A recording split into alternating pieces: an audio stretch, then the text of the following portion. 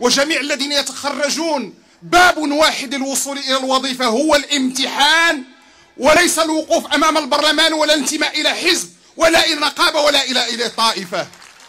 صحيح قد لا يعجب بعض الشباب هذا الكلام ولكن أن يكون هناك ميزان.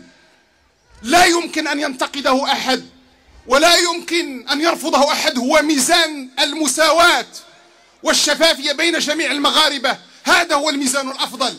لأن يمكن أن تكون لي إمكانيات أن أصل أمام البرلمان.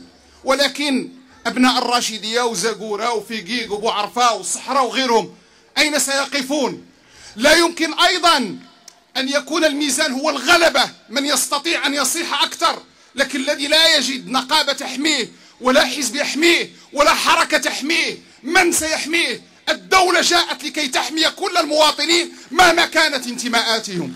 لذلك نحن نعتقد أنه بهذه الصراحة يجب أن تكون الإدارة والمؤسسات ملكا للشعب المغربي. تدرس ماشي بحال اللي كان سابقا. هذه هي الممارسة والخطاب السياسي.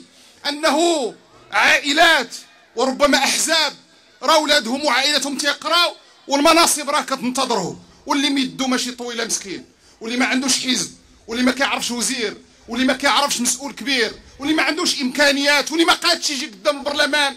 لا شيء يحميه. لذلك نجتهد إن شاء الله وسننجح في ذلك أن يحس الشاب المغربي الطالب أنه أمامه ميزان واحد. نتمنى أن يكون ميزانا معتدلا هو ميزان الامتحان والاستحقاق والكفاءة ليتساوى المغاربة أمام الإدارة وأمام المؤسسات